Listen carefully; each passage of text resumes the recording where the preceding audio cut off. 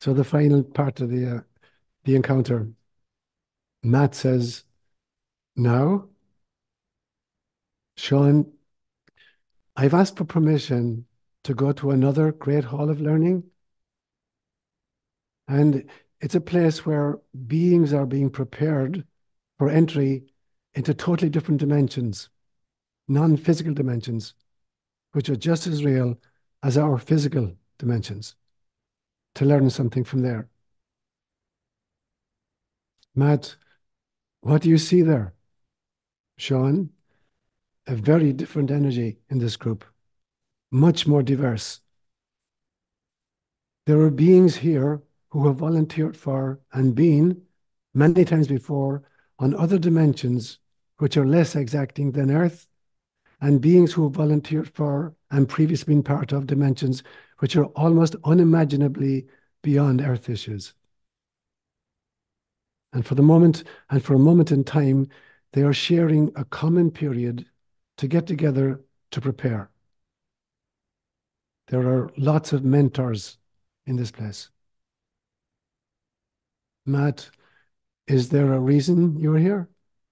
Sean, yeah, just to educate myself, just to realize how extraordinarily vast and unimaginable God's imagination is.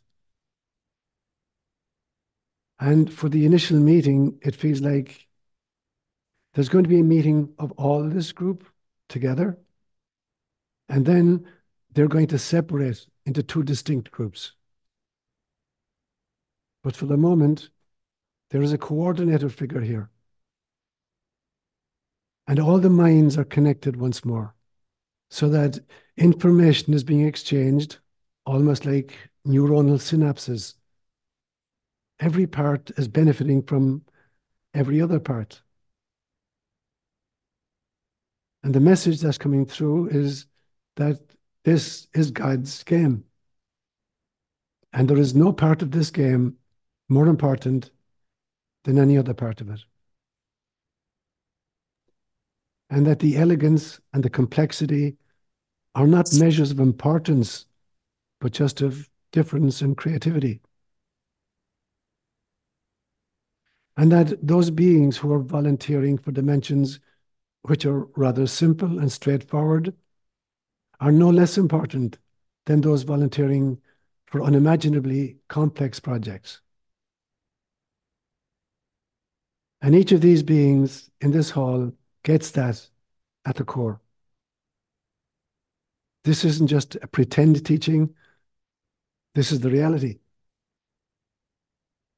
And having understood that and fully ensouling that, they are now free to break up into two groups. And I've asked for permission to go into the group that is volunteering for dimensions which are complex and really, really creative to see if I can learn. Matt, what are you experiencing as you listen? Sean, the first thing I'm learning is that if it can be imagined, it's real. And if it can be remembered, it's happened. And if it hasn't been imagined, it will be imagined. And I'm hearing that sometimes these dimensions intersect. And unfortunately, talking from an earth space, we tend to unpack these kinds of anomalous experiences in mundane categories that we think we can handle and therefore explain away. And if we had the courage to dream it differently, our journeys here could be really accelerated. That there would be much more assistance available and much more mentoring. And that we wouldn't dismiss any stray thought or wild imagining. And there is great excitement now in this group, now that they have been separated. And I recognize one or two souls who have been on planet Earth a few times and now are volunteering for this new kind of mission. And lots of others who volunteered here many times. Matt, Anything else? Sean, and I realize again that the ultimate ground of all that is is so creative and imaginative and unlimitable that it's an invitation to us. Part of the reason I'm in this particular chamber is to get it really from another angle. That it would be so foolish to think that any earthly institution has a kind of a monopoly on truth. Matt, it would be foolish. Sean, yeah. I mean, I can see it on planet Earth. There are so many contending claimants already for ultimate truth. And they can't all be right. Only one can be right. But then, when you have the privilege of attending an interdimensional encounter like this, you get it that any claim by any group to the ultimate is absolutely ludicrous. Matt, truth can't be contained. Sean, it doesn't even enter into the realm of thinking that it could be contained. It's not even like that it is combating contentment or railing against limit. It doesn't even enter into this model. Matt, this group is important in terms of Sean, it's kindergarten compared to grad school. Matt, what do you mean? Sean, I'm getting that although this group is wrestling with extraordinary creative and complex possibility, that they too are in awe at the courage of people who accept incarnation on planet Earth with its density of spacesuit and its limited mental capacities. That they are genuinely, that they genuinely have a sense of awe for that level of courage. Matt, anything else? Sean, it dissolves once again the notion of hierarchy or relative importance. All these are kind of made up distinctions. Matt, anything you want to say to them?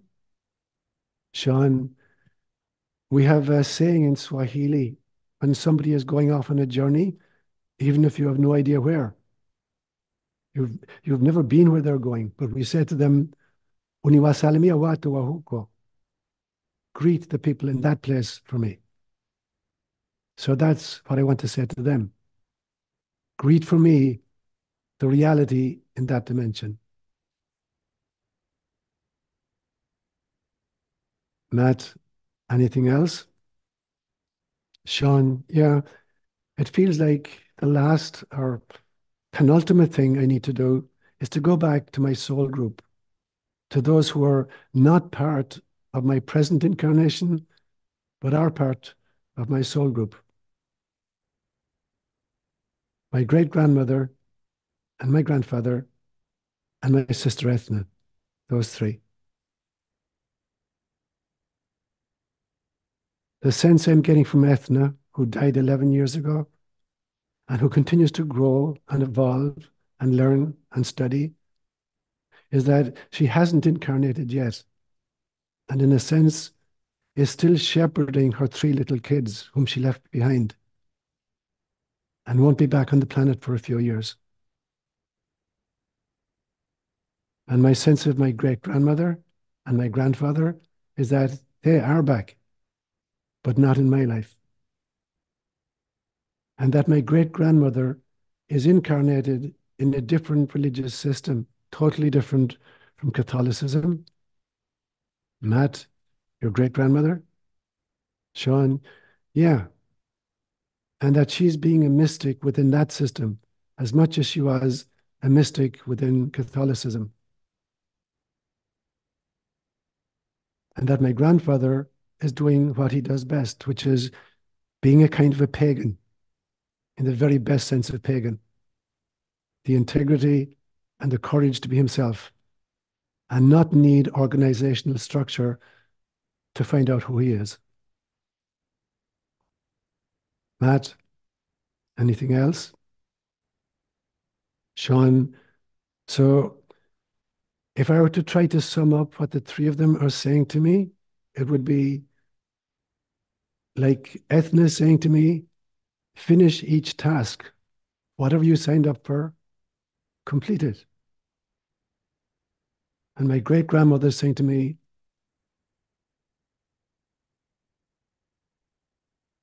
whatever community you find yourself part of, identify the mystical core of it. And my grandfather is saying to me, whatever situation you find yourself in, have the integrity to stand apart from it and challenge what is not of value in it.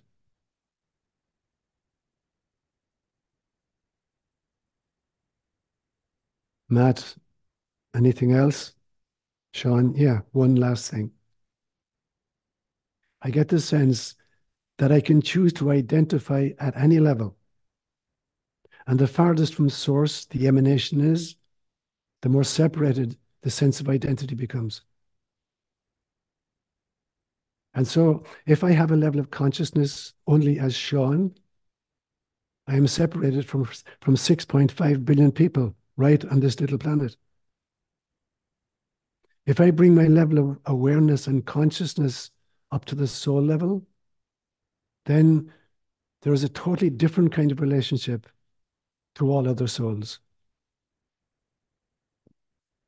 And if I can manage to let go even of the soul and the illusion of the soul, because soul is the final illusion, then there's only God.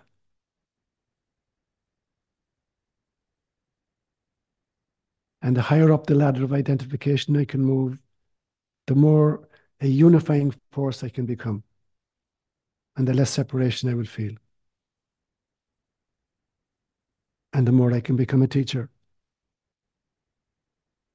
And I realize that it can be ego or Sean claiming higher identification because Sean has to disappear. And identity and ego have to dissolve before the other identity can be meaningful. Otherwise, they're just mental constructs. So, to truly know I'm a soul, it can't be Sean making that statement, even if Sean is the mouthpiece for it to become audible. And so I realize, I realize that I need genuinely A mystical experience cannot be had by Sean, but Sean can be had by it. There was an old bushman in the Kalahari Desert one time who said, There is a dream dreaming us. And when we think we are the dream, we get all discombobulated.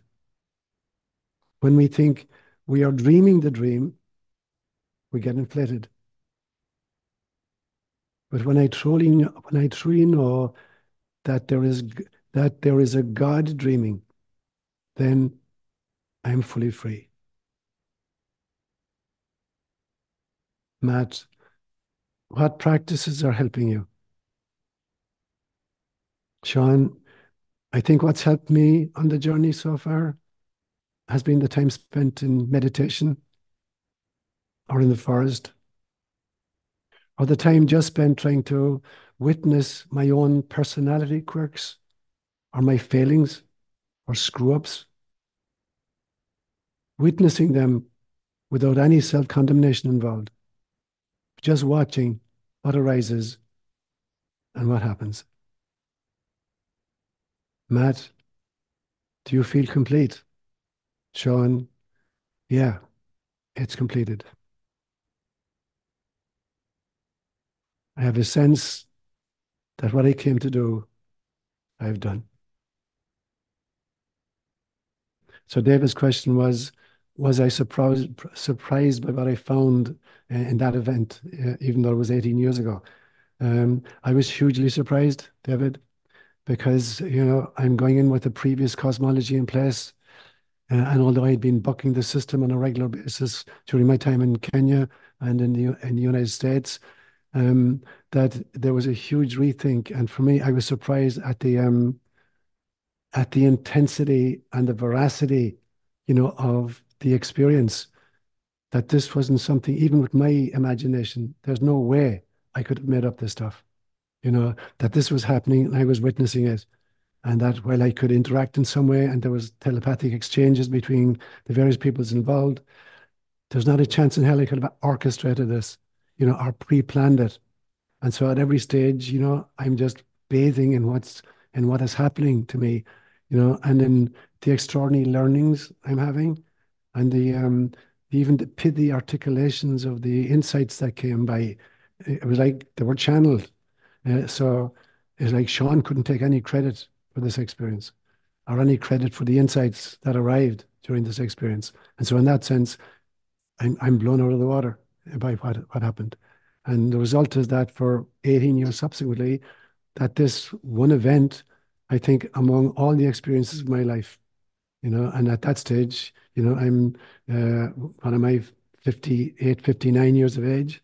You know, at that stage, you know, I had, um, I'd been pushing the envelope and I'd been studying and meditating and stuff like that and recording my dreams since 1979 but none of it prepared me for the kind of the intensity and as I said, the kind of uh, the veracity of the information being transmitted. Yeah, so it was, um, and it has hugely informed everything I've done as a priest and a psychologist and as a um, as a friend uh, subsequently. Yeah, yeah. So Francine's comment is exactly, you know, that uh, um, you can't have a mystical experience. You can be had by a mystical experience.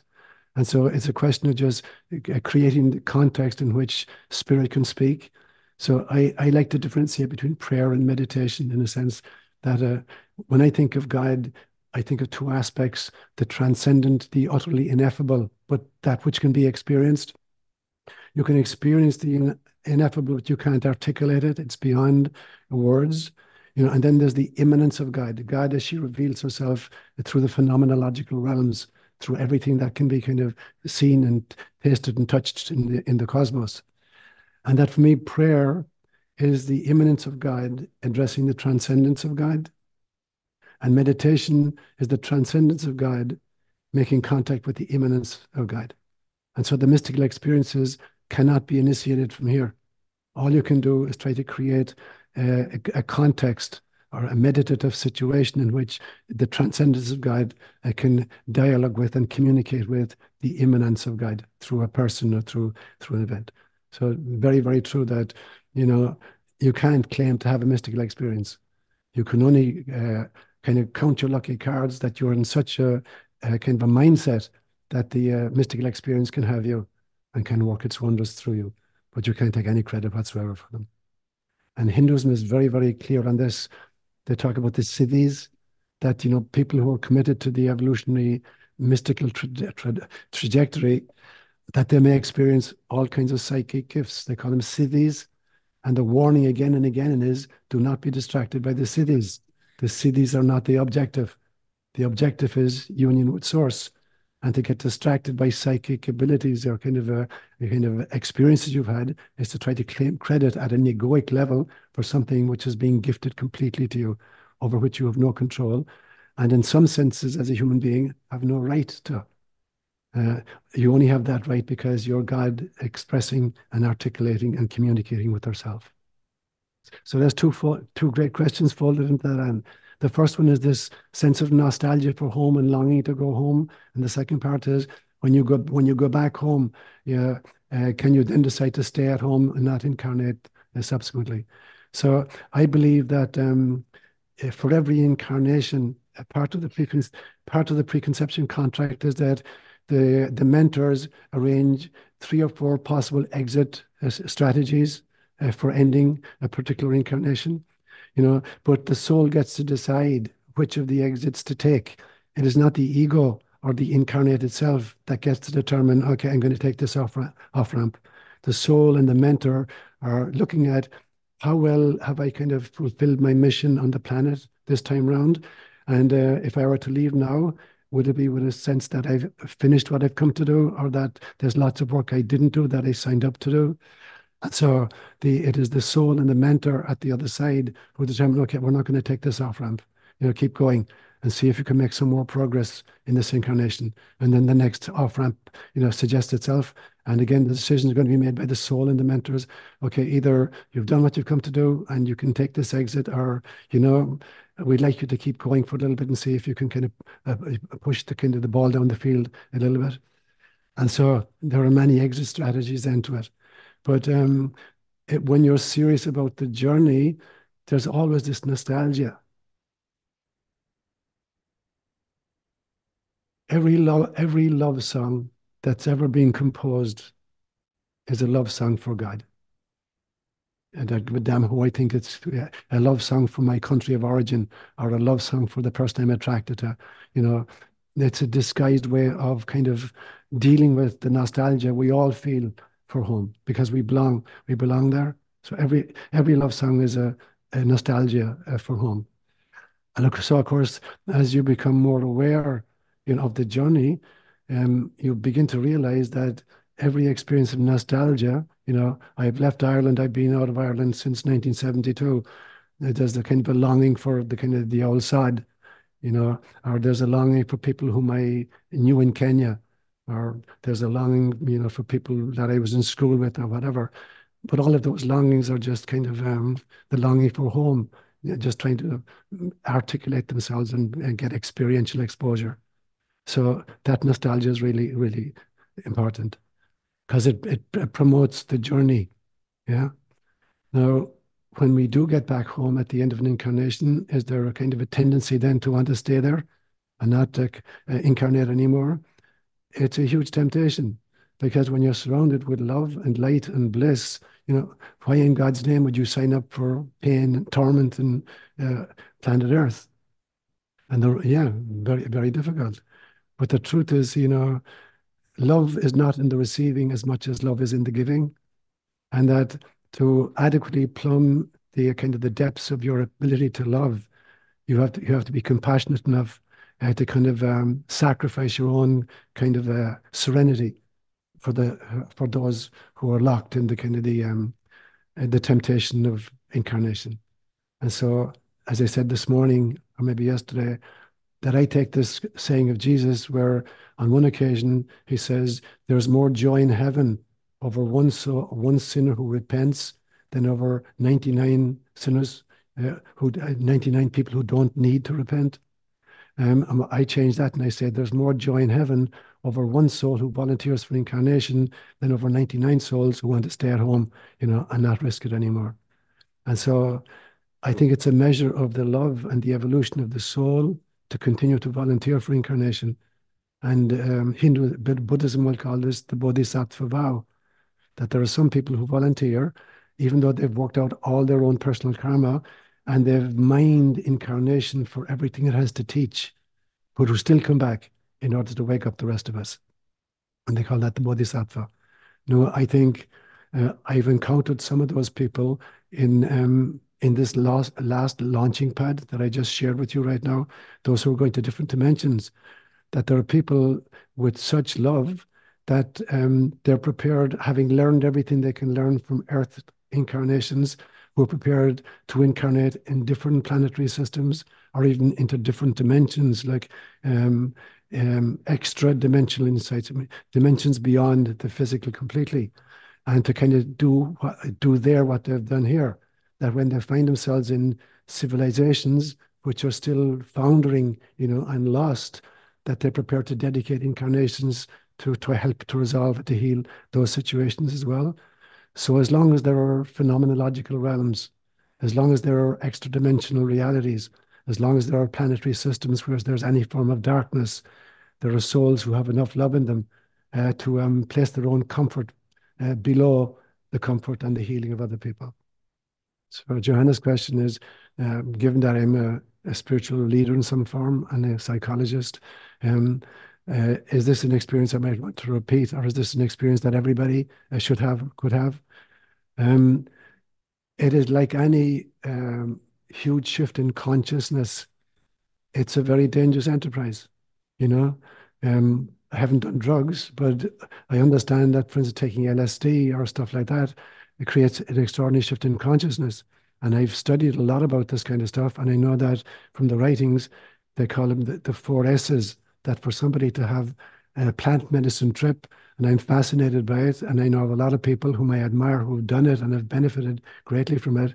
But they call it the four S's.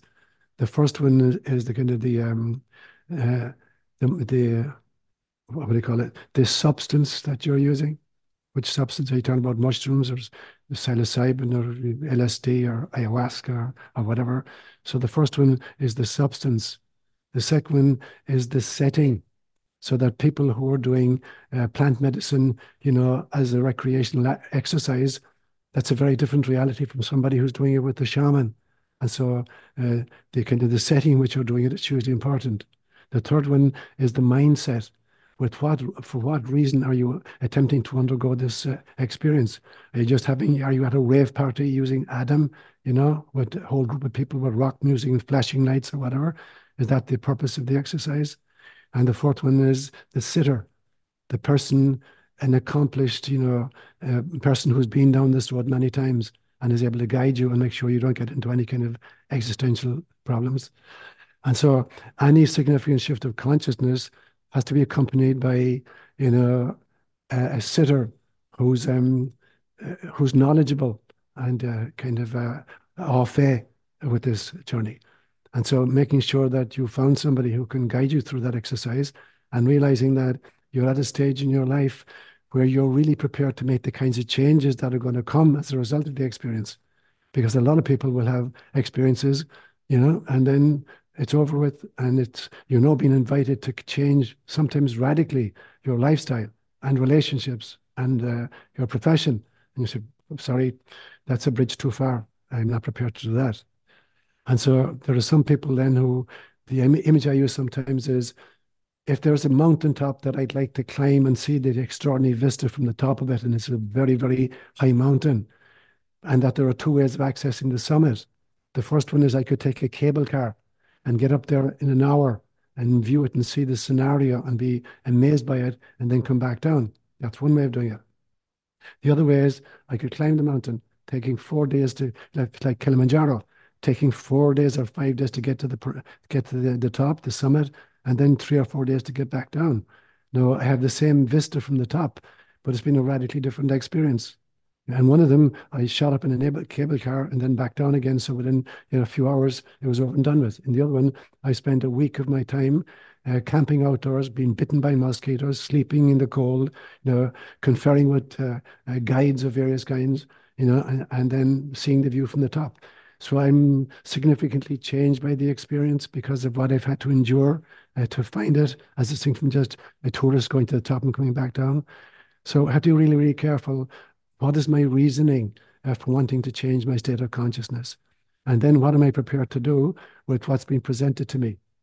And again, again, I found that there are people, you know, and this is true as well of the near death in experience literature. I've immersed myself in that for many, many years now. And again and again and again, you get people coming back from near death experiences and they enthusiastically begin to share the experience with the doctors where they were pronounced clinically dead or family members and they're um, labeled as crazy or it was just the drugs, you were having a hallucination. And so they learn very, very quickly, you know, to think, I'm not going to tell anybody about this anymore.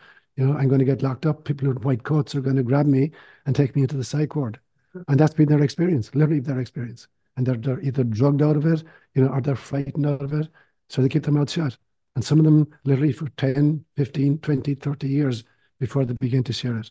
And the second big hindrance is that if they share with their family members, the relationships change and change radically. And often it's the end of a marriage or the end of a profession, you know, so that you have such an altered uh, uh, understanding of who you are and what your purpose is that the old system isn't going to support that anymore and you're not prepared to, to participate in that system anymore. And now you're going to make the kinds of changes that are going to force other people to think you either you're crazy or they don't like the new version of you and they try to force you back into the old version of you. So you have to answer all these questions before you attempt such a journey.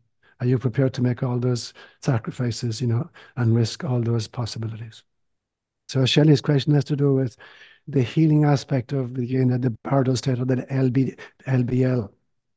particularly uh, if you've, uh, you're coming out of a situation where your physical body is literally tormented by a disease like uh, severe cancer or you know, any other situation in your life that's causing extraordinary distress. You know, what happens either when you cross over at the end of an incarnation or you experience, you know, an LBL session. So every every soul that disincarnates, that ends a kind of an incarnational experience, is going to uh, encounter some form of the healing space. And uh, those who have been subjected over a prolonged period during incarnation of some kind of distressing physiological or psychological conditions um, are going to uh, uh be uh, kind of taken into a, into some kind of a healing modality.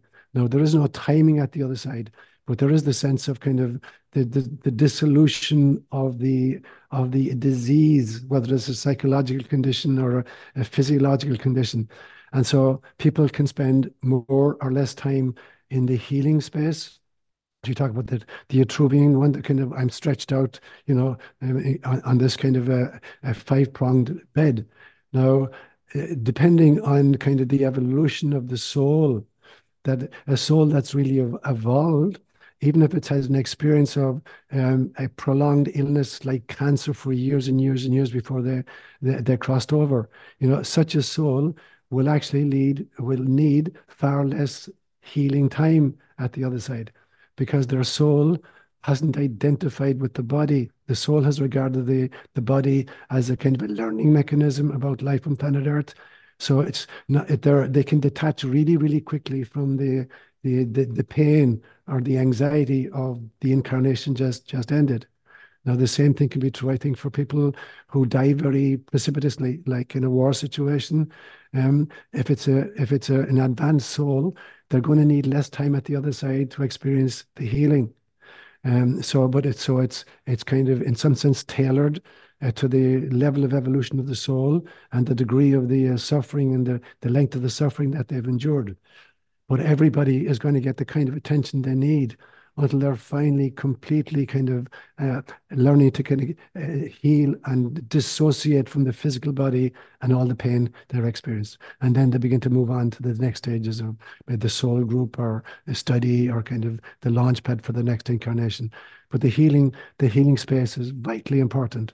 Now, this is the space where it's multi-tiered in a sense that there are discombobulated entities, you know, who refuse even to to look for light, and they're atta- they're attached to the Earth sphere, and particularly to addictions of various kinds, and so they're looking for possibilities of possessing a living per- a living individual in order to indulge this addiction that can only be kind of satisfied by a, a physiological extension of a, of a spacesuit. So there are beings who refuse to enter any form of light and therefore any possibility of healing modality. But the healers are there. And the healers are extraordinarily patient and the healers are extraordinarily well trained. And so eventually they manage to make contact with and persuade even the discombobulated and the earthbound spirits uh, to turn toward the light. And at that stage, then they will be invited into a healing space. So it's a more prolonged healing experience then, because there's much more darkness to be undone than for the typical soul.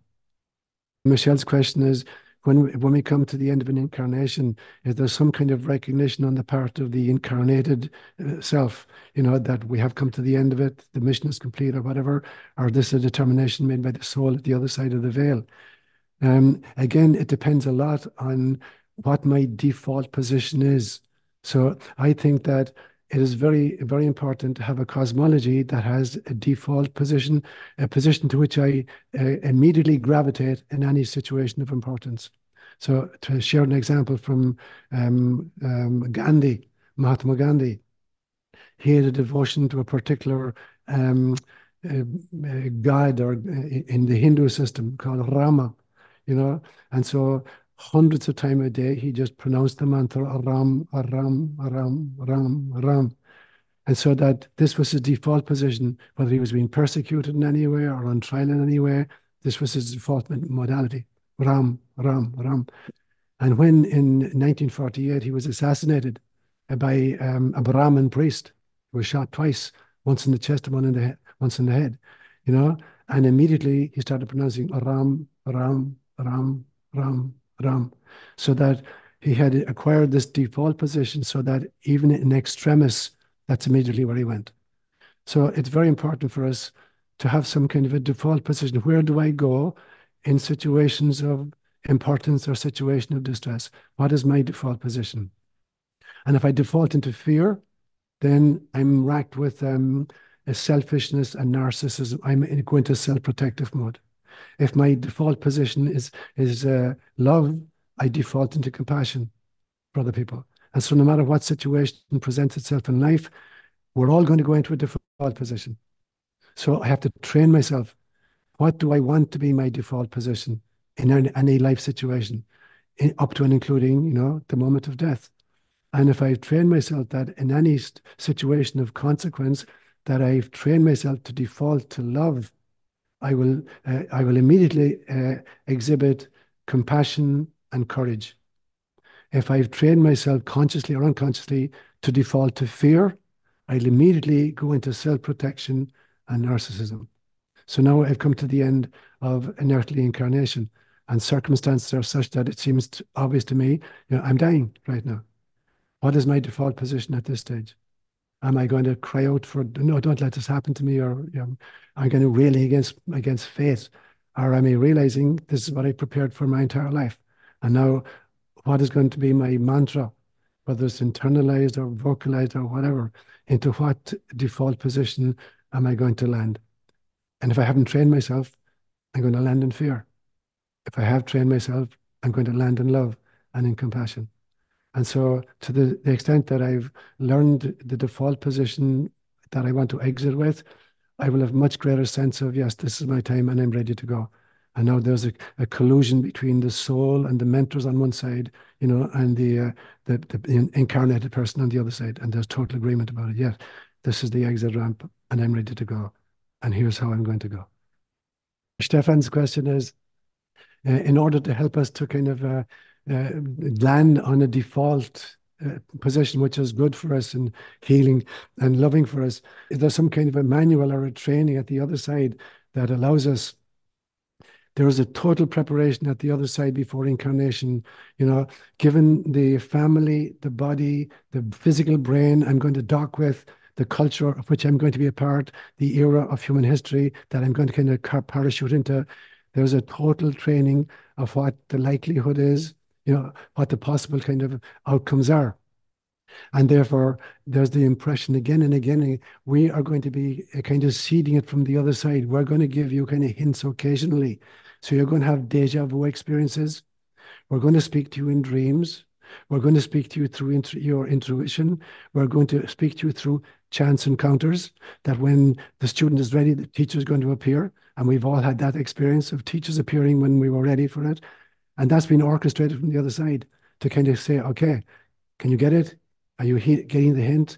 So again and again and again, we're being trained for and we're being prompted by a model that gets you into the default position. But most of us are asleep at the wheel. You know, we don't put time into it. We don't listen. We think, oh, that's just a coincidence, you know, or that was just, that was just the luck of the draw. And so we fail to see synchronicities.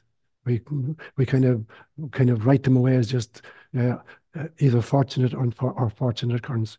So it's like uh, God must be tearing her hair out at the other side. How many more hints do I have to give you before you wake up and realize, you know, this is what it's about. This is what you volunteered for. And these were the uh, signs we agreed upon before you came. You know, like um, the butterfly that landed on Arlen's hand, you know, there was a sign to, to Arlen. And so, yes, we get all the hints we need and all the training we wanted at the other side, you know, to be able to land in the default position. None of us arrives at the end unprepared. So Karen's question is, uh, when I had this final encounter with my sister Ethna,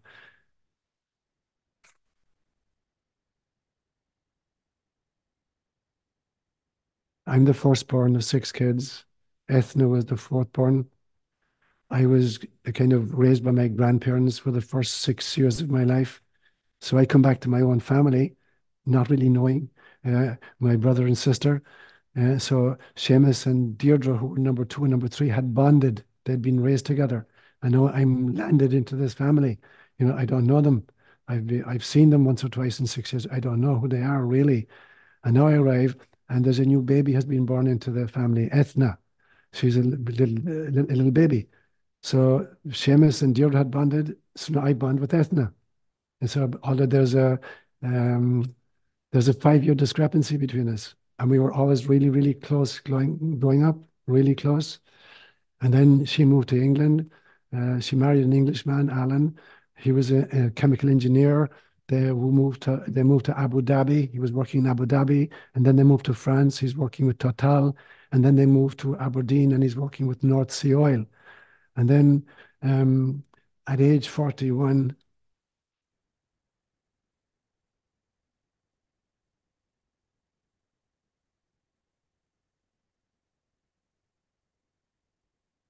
Ethna has a brain aneurysm.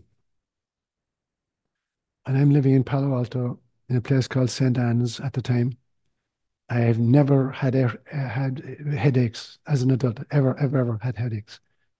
And I wake up about two o'clock in the morning, my time, with this vicious, throbbing headache.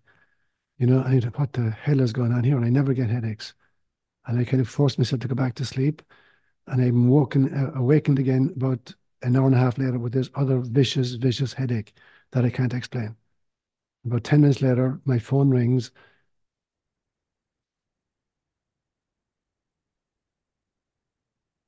And it's Ethna's husband, Alan. And he's ringing from the hospital in Aberdeen where they lived.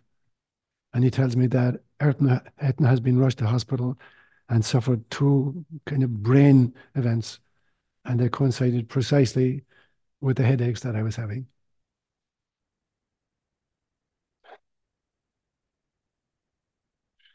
So I get on a plane next day and I fly into uh, London and then from London to Aberdeen. And I land in Aberdeen in the middle of a huge snowstorm. It was the 26th of January in 1995. And we're the last plane to land in Aberdeen Airport. The airport is closed down immediately after because of the, of the snow.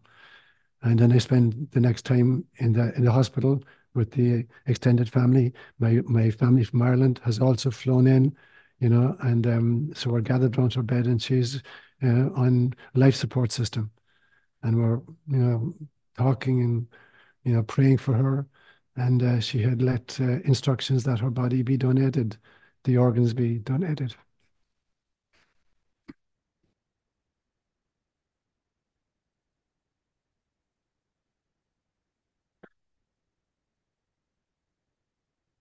So she's taken off life support and dies. And that night, I have an experience of her. And two days later, I do the toughest thing in my life to celebrate the funeral mass for my sister. She was 41. And she had three little girls, three children. Yeah. And so when I encounter Ethna in this um, life between lives, in this last section of it, you know, and I see there are three people in my soul pod um, who are not part of my life right now. That my great grandmother and my grandfather, you know, they're incarnated elsewhere, but they're not in my life right now, as shown. And Ethna is not on the planet at that stage. Now, this was 18 years ago. I can't say what's happened since then.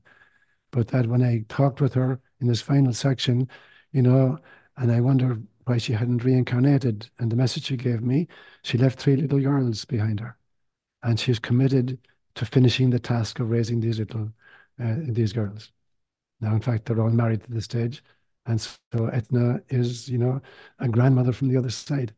But uh, 18 years ago, her message to me is, whatever task you sign up for, finish it. I signed up for a task of being the mother to three little girls, and I'm going to see it through. And when I finish that task, I'll incarnate again. And so, the, to answer Karen's question, then, you know, um, it's so really important for us to figure out for what have I incarnated, what is my purpose, and what is my mission, and to make sure I see it through.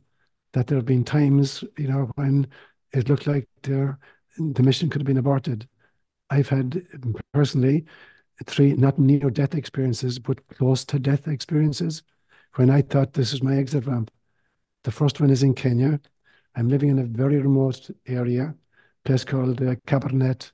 Um, and I got malaria regular every year. I got malaria at least once, and I would treat myself.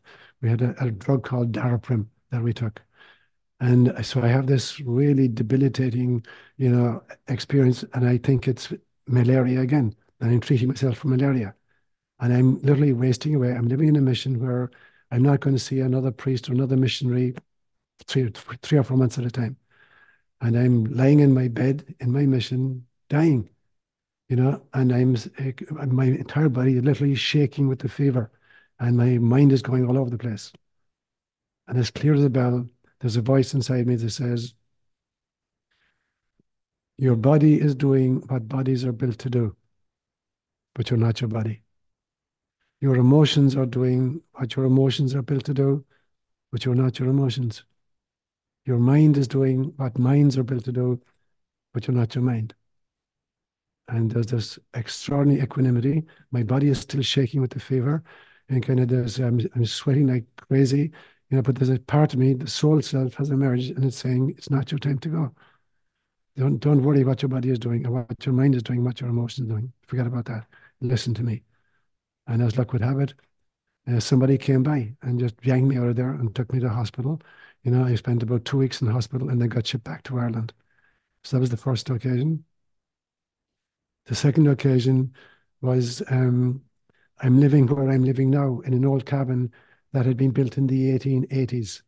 Uh, and there's a kind of I have a refrigerator, which is a kind of a, a kind of a propane gas refrigerator in a small little cabin, uh, and I'm there on my own four days a week, and then three days a week I'm down in Palo Alto, you know, as part of the COJ community and as a psychologist.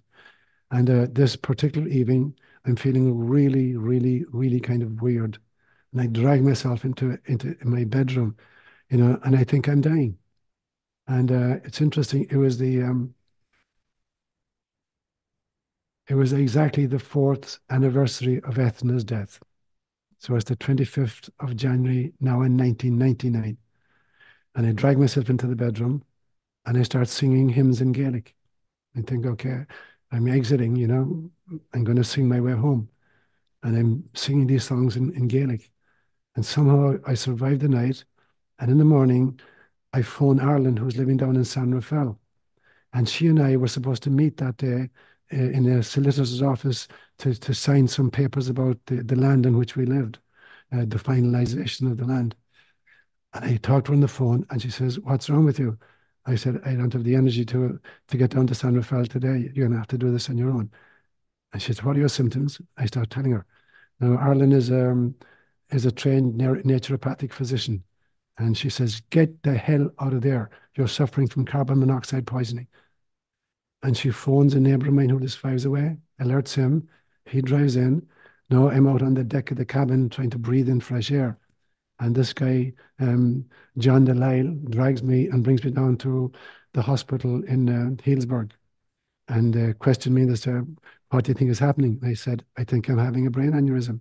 You know, this is how my sister died four years ago today. Now, they took a blood sample, but there's no there's no laboratory in the hospital in Healdsburg. It's too small. So they had to send it out to uh, Santa Rosa and wait for five or six hours to get the result back. In the meantime, Arlen has driven like the bat out of hell from San Rafael with a homeopathic remedy uh, called Carbo-Veg and gave it to me. And uh, she said to the doctor, we look at his face. Can't you see from his face that it's carbon monoxide poisoning? A kind of a symptom of carbon monoxide poisoning is you get you get beet red, your face goes beet red because of the lack of oxygen. So she gives me the homeopathic remedy, and then they put me on a, a breathing machine, and literally within within 17 hours I'm out of there. So she, that was the first of a few times in which she saved my life. So that was the second time, and somehow the, my soul said, "This is not your exit. You know, wait again." And the last one is, I have an, I had an apartment down in in Menlo Park, um, uh, and I I was down there three or four days a week, and um, I have a real love of Indian food, particularly hot, spicy food. And my office was out in Los Altos, and I'd see clients from nine o'clock in the morning until seven o'clock in the evening. And then I'd go to a, um, a restaurant which is called uh, Cafe Bombay nearby. and I'd have uh, Indian food, which I really loved, but it's very, very spicy food. And then I'd go home, write up my notes, and then go to bed by about 11 o'clock. And so I would suffer occasionally from acid reflux because of, of that diet. And so I wake up at two o'clock in the morning and I can't breathe. And it feels like there's a bubble over my trachea so that when I try to breathe in, it's like the bubble go just undulates going downwards, but I can't pierce it. I can't get air into my lungs.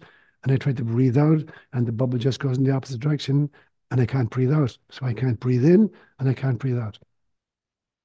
And I hear a voice in my head saying, You have 30 seconds of consciousness left.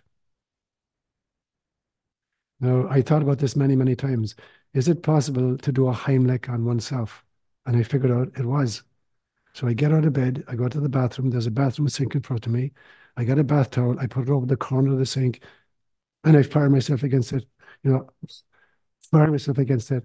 And then the third firing, I go up, and I can breathe again. Mm. And my entire body is covered with, I'm just a cold, cold, clammy sweat, but I can breathe. So I go to my office and I write my will. I said, okay, I got the message. but obviously, that was not the exit ramp, you know? And so it feels like um, when the time is is ready, the soul will to make the decision. You know that uh, circumstances are not going to determine when the exit is. That the soul is going to make it, and that I obviously I still had some more work to do. And the soul is saying, okay, you know, you got some something else to do. And it's interesting.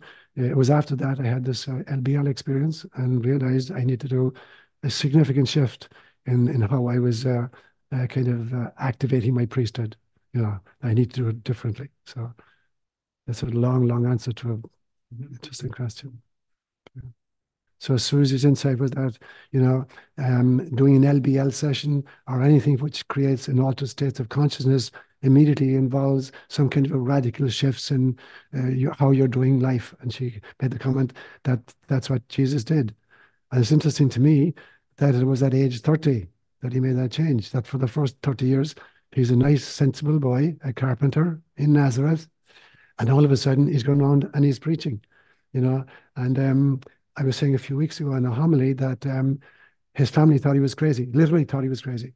If you read Mark's Gospel, chapter 3 of Mark's Gospel, in verse 21 and in verse 31, what you read was, when Jesus began his public ministry at age 31, we are told his family came to take him by force because they thought he had gone mad.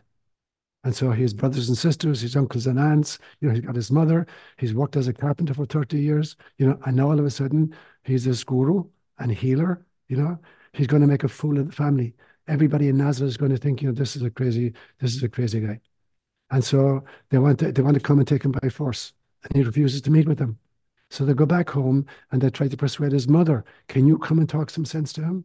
And in verse 31 in chapter 3 of Mark, his mother comes back and Jesus is sitting inside in the house surrounded by his disciples.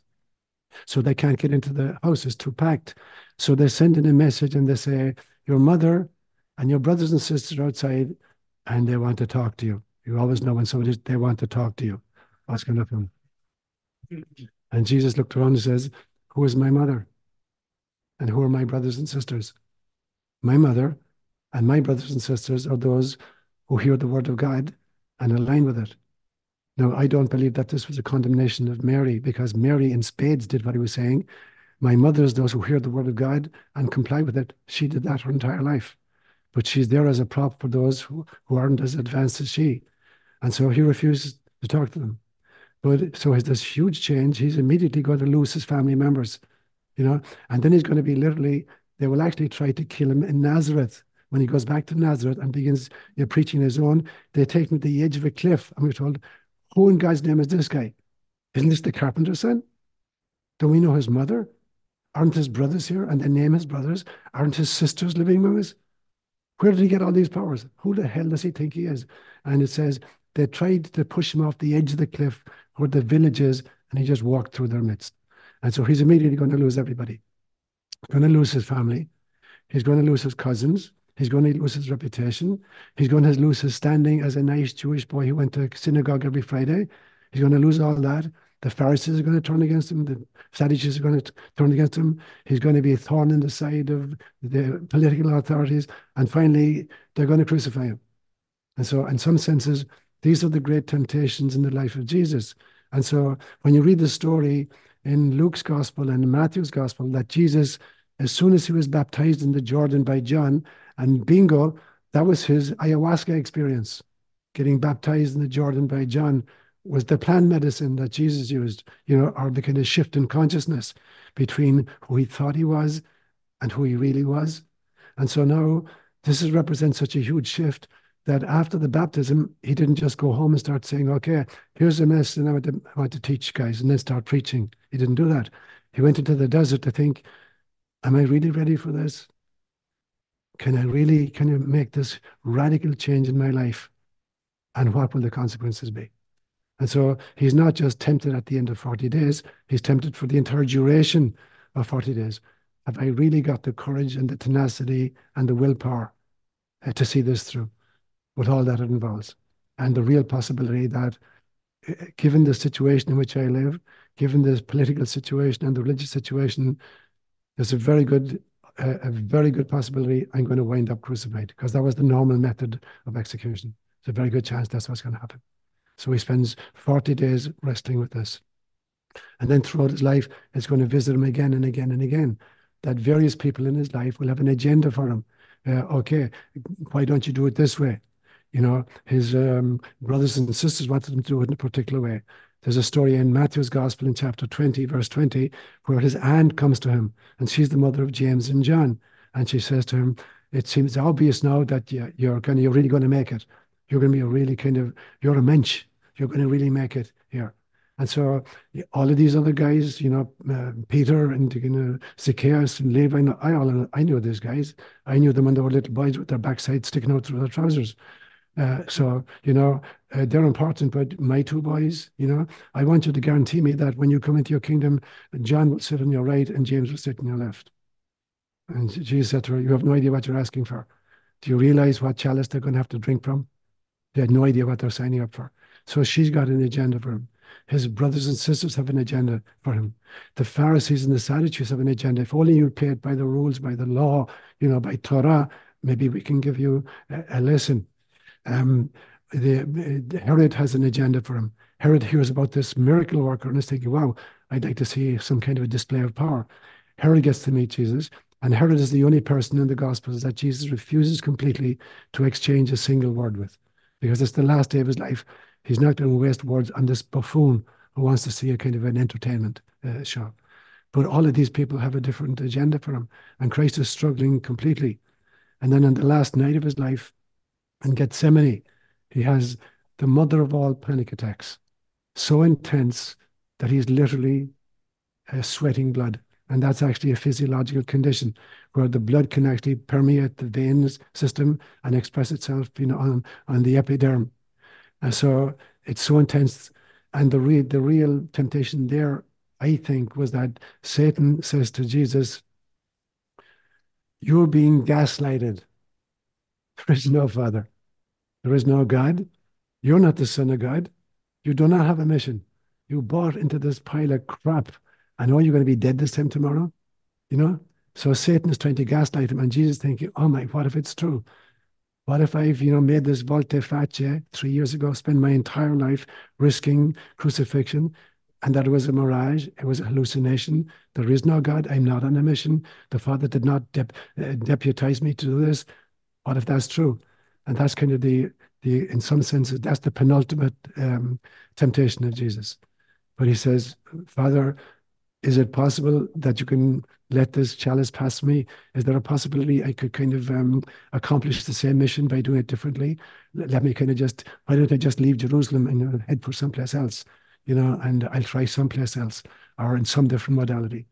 And then finally it said, but I know that this is the way I volunteered for. This is what I signed up for. So not my will, but thine be done. And then Satan will have won one last shot next day on the cross. As Christ is dying in agony on the cross. And Jesus will shout out, and he's he's um, um, quoting Psalm 91. Eloi, Eloi, lama sabachthani. My God, my God.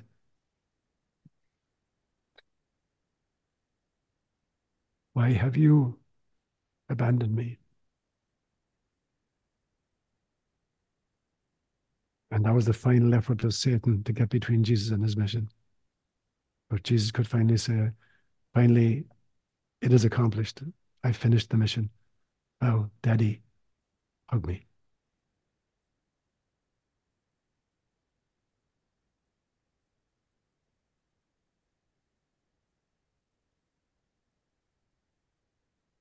So be careful what you ask for. Be careful if you really want to kind of um, experience your true self and your true purpose. Be prepared for significant changes in your life. Corey's question was, does do I think that I made that commitment on the launching pad for this incarnation? And I certainly did.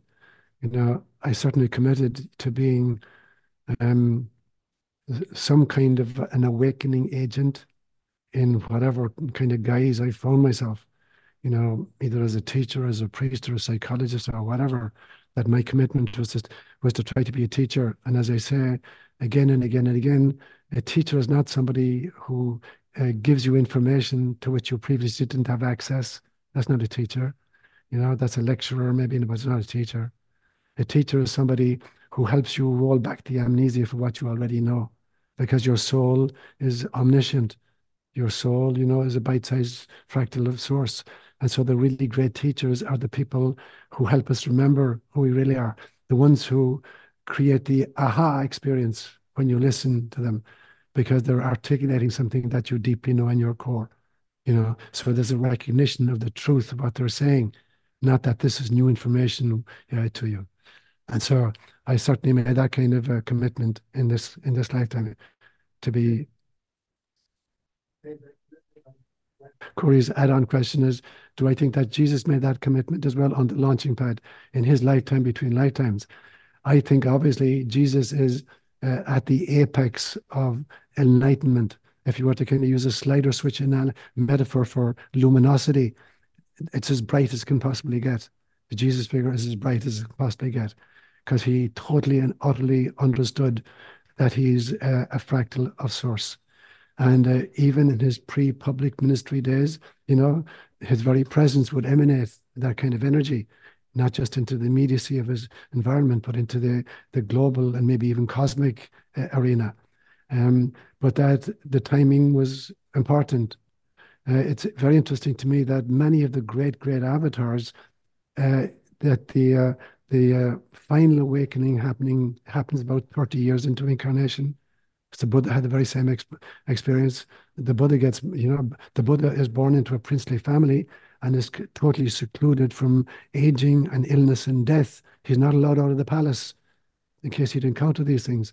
And then it, he gets married, he has a little baby. And at that stage, he wants to go see what's outside the palace.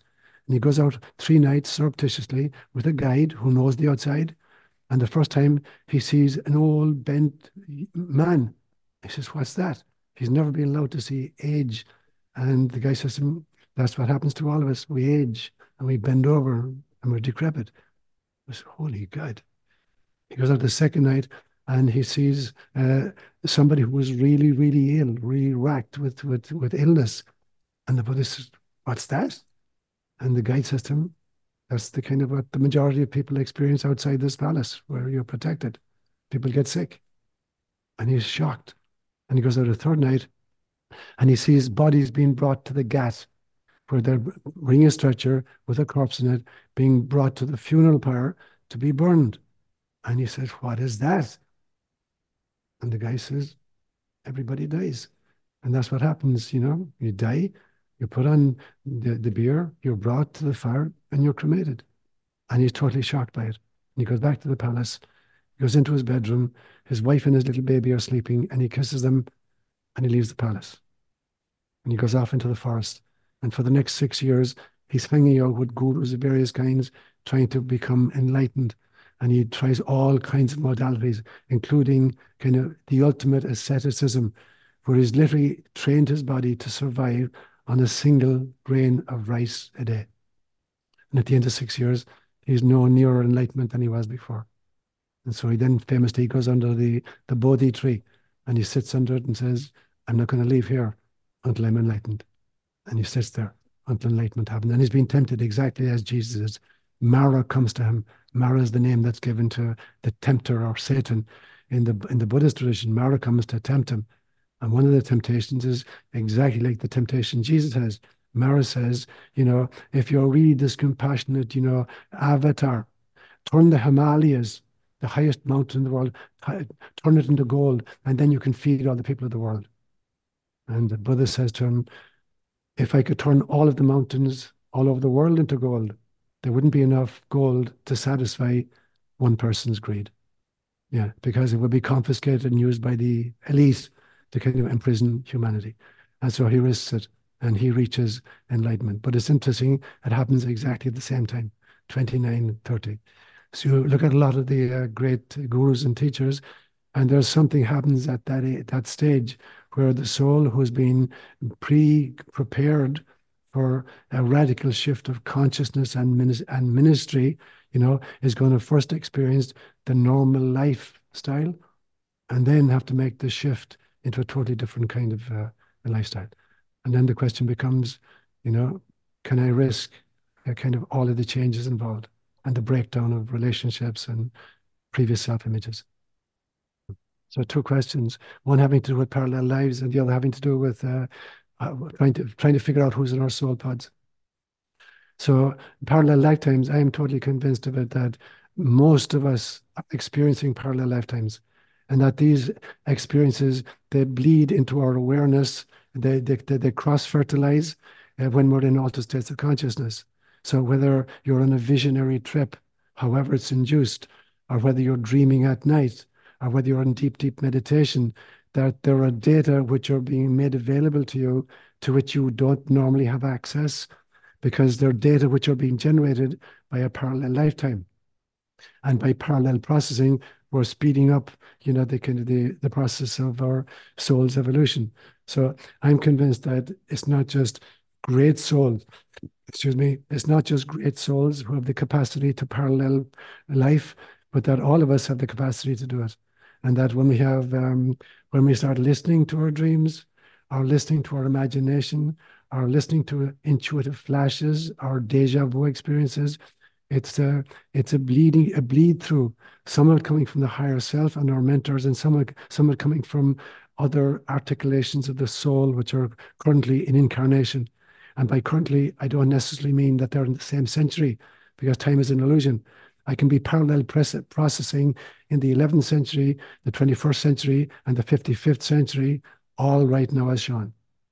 And so, yeah, we can parallel parallel process. And the second question Anne was asking was, is there any way of knowing who's in our soul pod, you know, while we're still incarnated?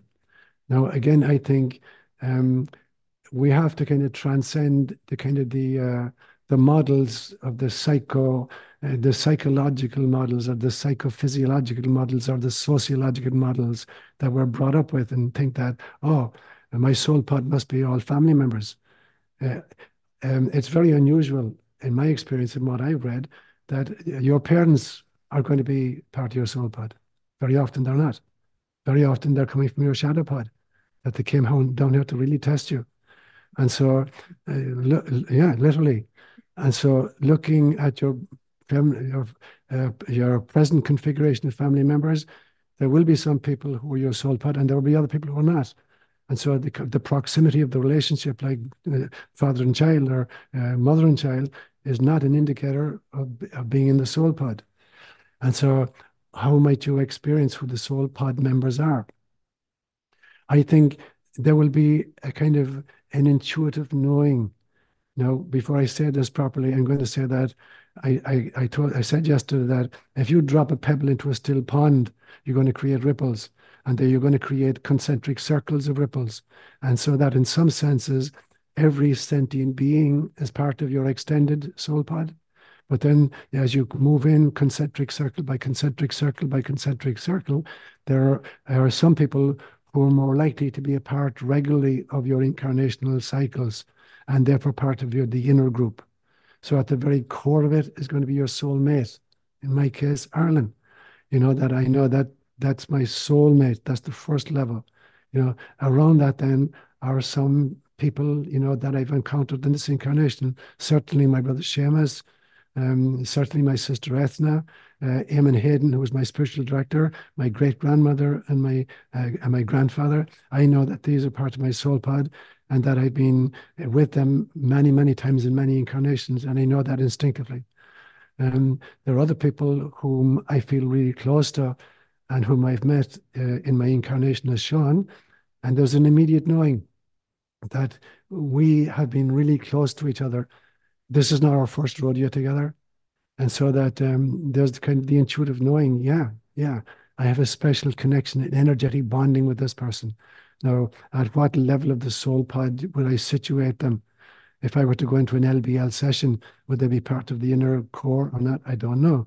But I know that uh, that sometimes the the the other levels, uh, the other concentric rings, uh, uh, three or four iterations out, in some senses, may be no less important than the ones in the very core. So it's not like a hierarchical system. So whenever I feel the kind of this instantaneous connection and this bonding with somebody, and it doesn't matter where I am, whether it's in Ireland, it's happening in Ireland, or it's happening in Africa, or it's happening in Palo Alto that there are people, and there are people in this room with whom I've had that uh, uh, experience immediately on meeting them, you know, and over the years has proven, as far as I'm concerned, to be really, really true. And so, um, just looking at uh, what your intuition is telling you, what level of connection do you feel to somebody, even if you're 60 years old when you met the person for the first time, you know, um, what level of connection do you feel and what level of um, love do you feel? And what level level of kind of protectiveness do you feel? That you would give your life to save theirs.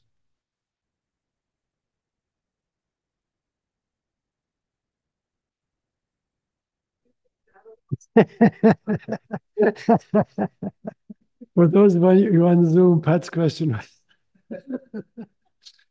do I get the same kind of intuitive flash when I meet somebody who's part of my shadow pod? definitely, definitely. And so that's a huge indicator that this is a vitally important member, you know, of my life journey. Uh, an instinctive dislike to somebody. And, and I mean that, an instinctive dislike. Or uh, if it's an ongoing relationship, that we're constantly banging heads and we're constantly landing on different sides, different perspectives on important issues to us. So I have a practice, for instance, when, when I'm counseling uh, um, clients of mine, again and again and again, when I'm dealing with a couple, I see there are four issues that constantly present themselves in couples relationship. And the first one is communication. Yeah how well or how badly are these two people communicating with each other? That's always the first one and the most important one. The second one is the place of sexuality in that relationship. How satisfying is it, or how frustrating is it for members, you know, uh, in their sexual expression, in their level of intimacy, and the longevity of it. How long does it last, or how quickly does it become stale? The third one is finances. You know, how our finances, how are we working together in our finances? Are we a team here? Are we, are, are we at loggerheads with each other? Are we constantly fighting about finances? And the fourth one would be what I would call uh, kind of your personal cosmology or your philosophy of life. Where do you land on the important questions? Whether they're political questions or, you know, the rightness or the wrongness of abortion, you know, where do you land, you know, in your individual perspectives within this relationship? And I found over the years, you know, that uh, these are the four issues that we're going to have to address in couples counseling. And so you'll find out fairly quickly am I married to somebody whom I have intentionally, you know, and bilateral by bilateral agreement would be my my spouse or my partner here, you know. And so after an initial period, I find out very quickly what happens. So I see uh, couple, couples relationships go through very distinct phases. The first phase is infatuation. The sun and the moon and the stars shine out of my beloved, and you know, I'm infatuated by her and I can't see beyond her. And that's a very easy stage of relationship. And most uh, most relationships begin like that. And what it is, it is two personas dancing. I don't really see who you are. I'm infatuated with whom I want you to be. And I'm presenting a version of me that I want you to fall in love with. And so it's my persona, my mask dancing with your mask. That's the first stage. The second stage is intimacy.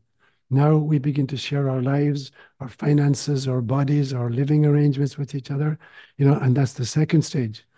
And uh, that's really, really easy to be in for a period of time. The third stage always comes, and I call it disillusionment because the first two stages are an illusion. I'm not really in love with you. I'm in love with whom I want you to be. And I'm going to present to you a version of me that I hope you'll fall in love with. But now we get to a stage where the two egos have emerged. It's not my mask kind of trying to seduce your mask. It is my ego being pissed at your ego. I know the two egos are battling with each other. That's stage, stage three. Now, if we have the commitment and the resources to work through this stage, then we reach stage four, which is true love, which is the two souls dancing with each other. We have transcended ego, and now it is my soul dancing with your soul. But that takes a lot of work. And so that's the kind of that's the kind of the trajectory of relationship. And if we're prepared to do it, you know, real love will be the, the final product of it.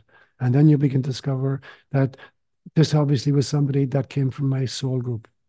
But marriages that break down significantly, particularly in a short period of time where I can't stand the sight of my ex, you know, that's obviously an indication uh, we chose each other as shadow pod members. Great question, Beth. so there's a lot of mythology about the missing years of Jesus. And to give you a context for it, um, important people in history have often been given fictitious childhoods. They become really, really famous at some stage. Nothing is known about their childhood. So we know we fabricate they must have had extraordinary childhoods in order to produce such an extraordinary adult. And there are a whole bunch of Gnostic gospels, one of them called the Infancy Gospel of Jesus, that talks about his, his, his childhood. He was an obnoxious little brat. Literally, if you read through this, an obnoxious little brat who literally blinded a kid and killed a kid for calling him names. And then when the parents of the, the child came to complain to Joseph and Mary, the child Jesus threatened to blind them as well. So you're creating fictitious childhoods for anybody who's of significant historical kind of uh, prominence. So that's part of the problem. Because when you look at the life of Jesus, you know, there is nothing mentioned in the Gospels between age 12 and age 30. And in actual fact, only Luke has a single event in his Gospel of Jesus at age 12. So if you look at Mark's Gospel, uh, and um, there's no mention whatsoever of a childhood of Jesus, not even of his birth circumstances. Matthew and Luke create birth narratives, and Luke, who's the only non Jewish writer of scripture, uh, gets his geography mixed up. You know, so he has Jesus being born in in, in Nazareth and then having come down to, to Bethlehem to be registered, which was completely wrong. And he gets the dates wrong. He talks about Quirinius being the governor of Syria when Jesus was was born and the first census that was happened. And it did not happen during Quirinius's uh, time. So Luke gets a lot of the details wrong. So they're getting details wrong about the birth of this child you know. And then only Luke has an event. So uh, those who do call, talk about the birth of Jesus just talk about his birth and then for the first few days afterwards. And then there's nothing until age 30. Luke has one event in chapter 2 of his gospel where he talks about an event at age 12 where Jesus and his parents go down from Nazareth to Jerusalem for a big Jewish feast.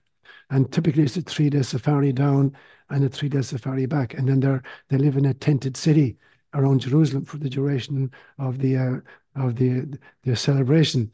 And at that stage, the population of Jerusalem went from about forty thousand people to one and a half million people. So you had a huge tented city around Jerusalem. And then the feast is over. After three days, they start the journey back. And at the end of the day, they realize the 12 year old boy isn't with them and they freak out. And they're inquiring from the resident, Did you see Jesus?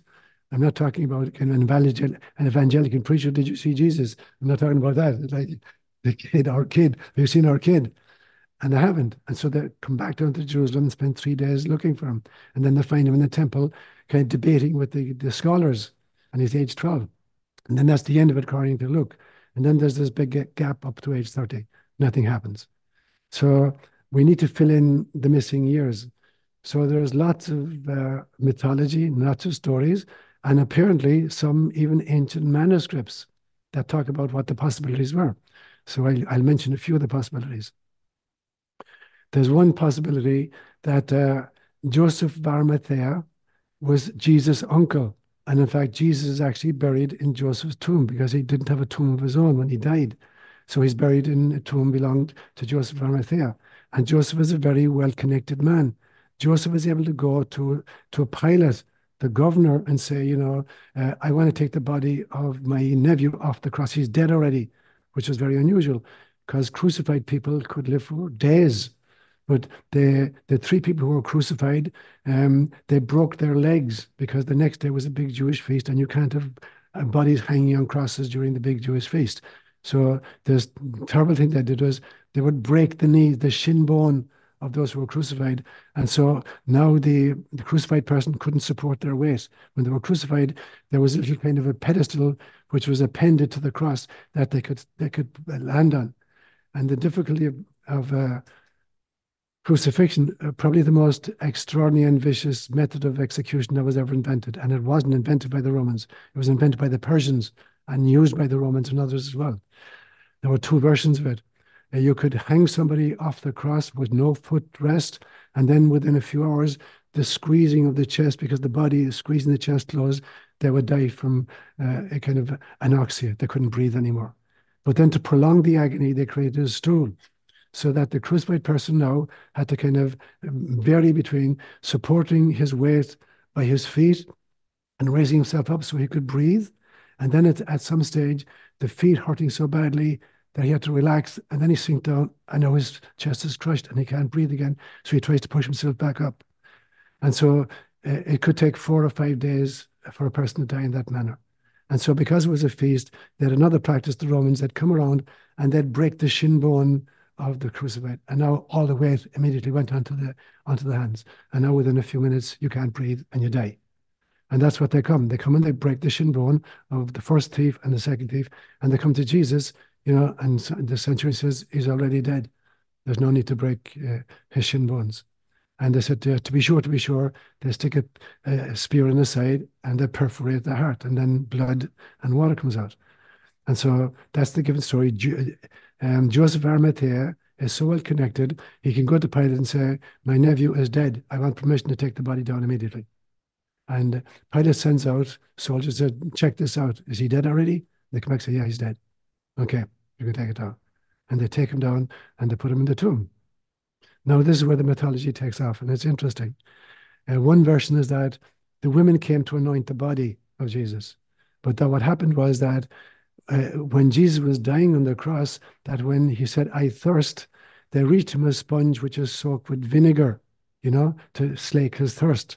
But that in actual fact, part of the Qumran community, the Essenes, had developed life sustaining kind of, uh, um, um, uh, how would I call it, herbs of various kinds, that they put them on the sponge and they gave them to Jesus, and that would create a state of animated, of suspended animation that to all intents and purposes, the person is dead. And so it looks like he's dead, but what's happening is he's put in a state of suspended animation. And they take him into the tomb then, and they're going to anoint him. And that in the meantime, you know, this these herbs are taking uh, kind of their course, and he comes back to full consciousness. And then he's taken uh, on the third day, he's fit to travel, and he's taken away from there. And he's taken to India or Tibet, different versions of it and the healing is complete. And then he spends many, many years as a teacher and a healer in Tibet and in India. And there are monasteries in Tibet that claim to have literally ancient documents talking about a visit from, from the West of a saint called Isa, who made a huge impression, and that there's actually a tomb there where the body is buried, and that some Western travel, travelers have been given access to those documents. So that's one version of the story. That that's you know what happened, but that in in the interim, in the 18 years when he's missing, that he's visiting a lot of different areas and uh, exposing himself uh, to the teachings of other great avatars, including the mystery schools in Egypt and the kind of Buddhist and Hindu teachings of, of India and Tibet. And that as a young boy, he's actually been brought uh, uh to Cornwall in southwest England, which is a Celtic stronghold. Gaelic is still spoken in, in Cornwall. There are six locations in Western Europe where Gaelic is still a spoken language. One of them is in Brittany, in northwest France, they speak Breton. Another one is the Isle of Man, where they speak formal Gaelic. Another one is um, Wales, where it's still spoken. Another one is Ireland, obviously, where it's spoken. Another one is Scotland. But there's a part of uh, southeast England called Cornwall, uh, which Gaelic uh, was spoken and is still spoken.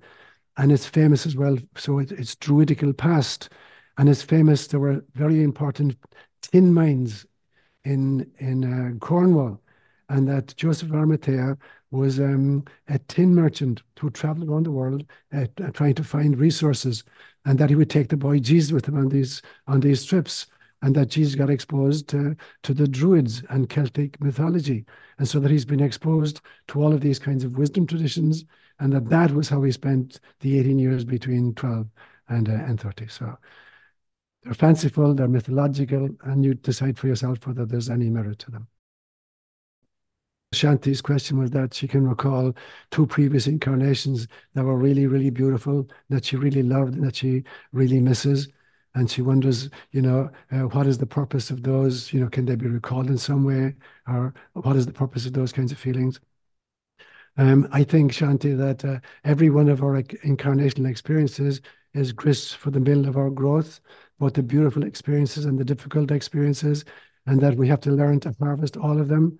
And that um, sometimes the memory of great past incarnations yeah, are to sustain us in present vicissitude and so to have access to all of the data means we're more prepared to deal with present circumstances than if we only had access to some of the data. So the, the more you can uh, the more you can access the good and the difficult in your past life, the more you can discover what your strengths are that you have managed to overcome the difficult times and you've managed to uh, process and grow through the good times. So there is no past incarnation which is not important to you. Um, and although we long for the happy times, you know, it's important for us that we learn from the happy times and we learn as well from the more difficult incarnations. And that wherever you find yourself in this incarnation, uh, can you appreciate and can you build into this present timeline the joy and the sense of fulfillment that was part of the happy incarnations and can you put a smile on your face at times in this incarnation when you feel like a grimace instead? Yeah. Denise's question is, is it possible to have parallel incarnations, one of being one of being on planet Earth in this uh, 3D density and one being off planet or in a different dimension? I would say absolutely yes. I would say, for instance, that for more advanced souls, you know, they're they're able to juggle a lot more balls than the rest of us, and that the ability to simultaneously inhabit radically different environments, you know, and to be able to learn from both. It reminds me of, let's say, on planet Earth, somebody who's simultaneously a brilliant mathematician and a, a, a brilliant um, a musician.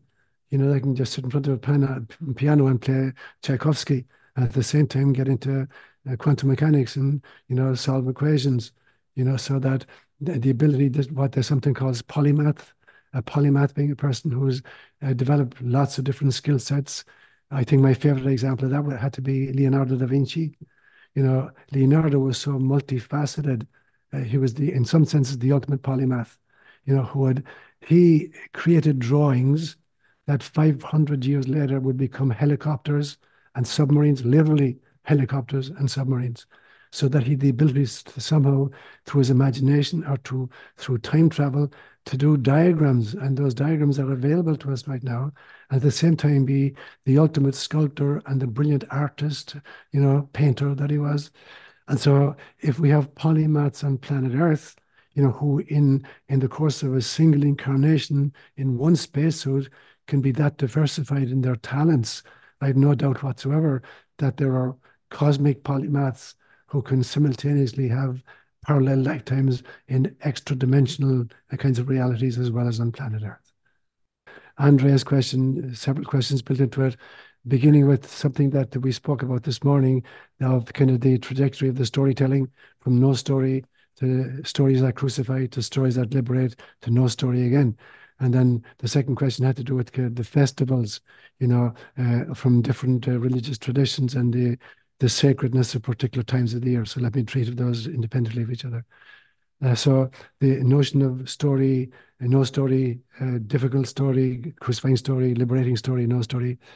Um, the Jesus figures get to a place where they don't need to tell stories for themselves because they're so in touch with and unified with ultimate reality that stories are like a kind of uh, a simplistic analysis of a cosmic reality.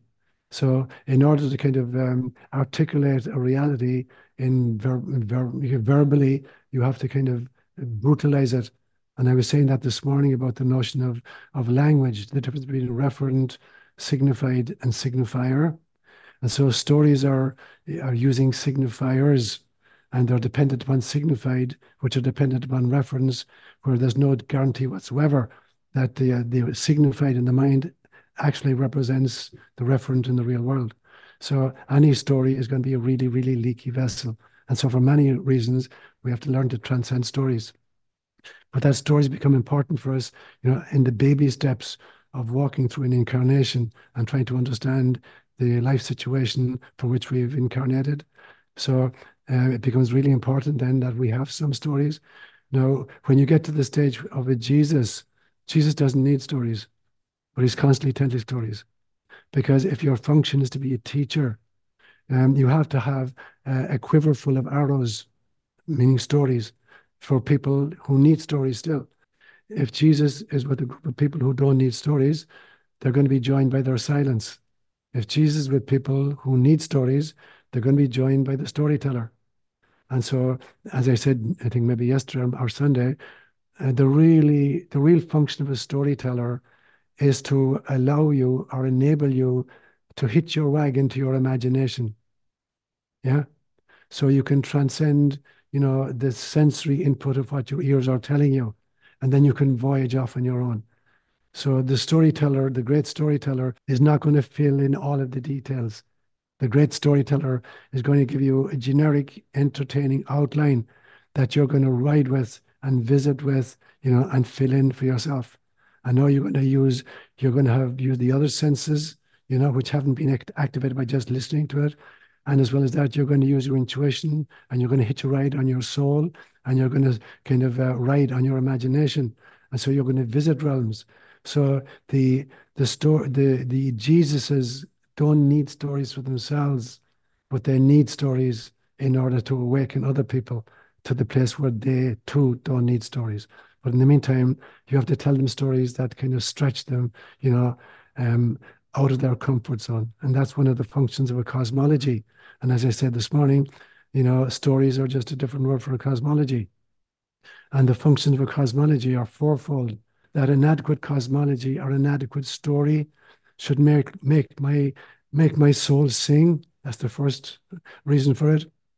Secondly, it must stretch me out of my comfort zone. Thirdly, it has to be able to accommodate every experience I have. So, any, as I said this morning, there must be leaves and spiders in any adequate cosmology. If your cosmology can't account for spiders and leaves and extraterrestrials, you know, it's an incomplete cosmology. So it has to be able to account for every experience you have, you know. And then, uh, fourthly, it has to be constantly revised on the basis of new experiences being generated by your by your living. And so stories have to do the same thing. Stories have to continually evolve, make your soul sing, stretch out of your uh, comfort zone, accommodate all the data of your experience, and uh, be continually updated. So that's my kind of response to the story piece of what you said. So the second part of your question had to do with the, the ways in which different uh, cultures and traditions honor you know, um, the, the, the cycles of, of, of planet Earth. And it's very, very true that there are there are cycles within cycles within cycles. So, for instance, in some senses, every breath you take is a new lifetime. You know, every breath you take, you're literally exchanging molecule, millions of molecules of matter with your environment.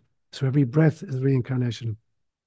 Every time you wake up in the morning, you're a new person. It's a different incarnation. You shed literally billions of, of cells of self and exchange them with others and borrowed from others, including from plant life and from other human life. You know, the kind of the week is a kind of an artificial a kind of a, a birthing. A, a, week is not um, a, a, kind of a, cosmological reality. We have to make up what determines that a week consists of seven days. Why not eight days or 15 days or whatever? So, whereas a day is a natural cycle because of the sunlight, and a year is a natural cycle because we go we circumambulate the sun, and a moon is a is a natural cycle because on the course over the course of 29 days, you know, it comes back into the same place in the heavens. Um, in a 22,650 year cycle, uh, the um, the constellations in our in our in our immediate area reconfigure themselves, and we see the same constellation that people who lived 26,500 years ago. So there's this mega. Uh, the Milky Way galaxy is circumambulating a black hole in a kind of in a in a, a circulation of uh, millions of years of time. So there's cycles within cycles within cycles. And so the indigenous populations understood that. And they tied their celebrations of life to particular formats. And so I can speak most strongly from the Celtic tradition. And in the Celtic tradition, there are four great times of the year, you know, when the veil between the mystical and the mundane is diaphanous. And the first one we call Imbolc, which is the 1st of February. And it's the feast of a great Irish saint called Saint, uh, Saint Bridget a goddess and a, a, and a Christian saint at the same time. And the second one in Gaelic is the 1st of May, and we call it Bealtaine. Yeah, and it's a time when the fairy folk are particularly active in Ireland. Uh, the third one is the 1st of August, and we call it Lunasa in Gaelic. And then the fourth one is at the 31st of October or the 1st of November, and we call it Samhain. And for the Celts, the year begins with Samhain. The year begins at the beginning of the darkness. And for the next six months, we're living in the fertile, fecund womb of darkness.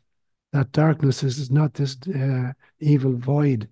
It is the it is the womb which is capable of conceiving and carrying and giving birth, and then the birthing happens six months later uh, with um, with Bealtaine, and so for the Celts, the year begins in darkness and then transitions into light. So light is a product of darkness, not just an enemy of darkness. And the same thing of the day. For the Celts, the day begins at sunset. Yeah. And then so the first part of the day is the dark womb that gives birth to the light when the sun rises the other side. And for the Jews, that was exactly the same. For Judaism, the day begins at sundown. And so when you're reading the Gospels, particularly, you have to know that. Otherwise, the whole story about the crucifixion of Jesus doesn't make a whole lot of sense when you try to tie it to the to the uh, Hebrew calendar. It doesn't make sense when we think that the day begins with sunrise. And so, in many, many systems, then they're watching the natural world and the natural cosmos, and they're they're they're plugged in and they're kind of in sync with those cycles, the minor cycles and the major cycles. So different traditions then uh, will have different kind of terminology for it, and we'll tie it, you know, some to a daily cycle, some to the menstrual cycle of a monthly cycle for a woman particularly. Her very body you know, is in is in sync uh, with the movement of the moon. And so at various stages of this complexity, you know, there are cycles which are inviting us into a different dance with reality. in, Imbolc, We spell it I M B O L C. The second one is Bealtaine. It's often mispronounced in English as Beltane. Yeah, but again, it's B E A L T A I N E, Bealtaine. And it literally means Baal's fire. So it's an ancient, ancient, ancient, even before the Celtic. So Baal in Hebrew means the master, master of. So the master of fire. So the sun is, in some senses, the ultimate fire for us. So Bealtaine is the master of fire. And um, it becomes very, very important. Now, you mentioned some other feast days. In between these four major feast days, if you count, these are um, uh, three months apart. These four uh, pieces are three months apart. Between any two of those, after six weeks, there's a midpoint. And in that midpoint, there's another celebration in the Celtic system.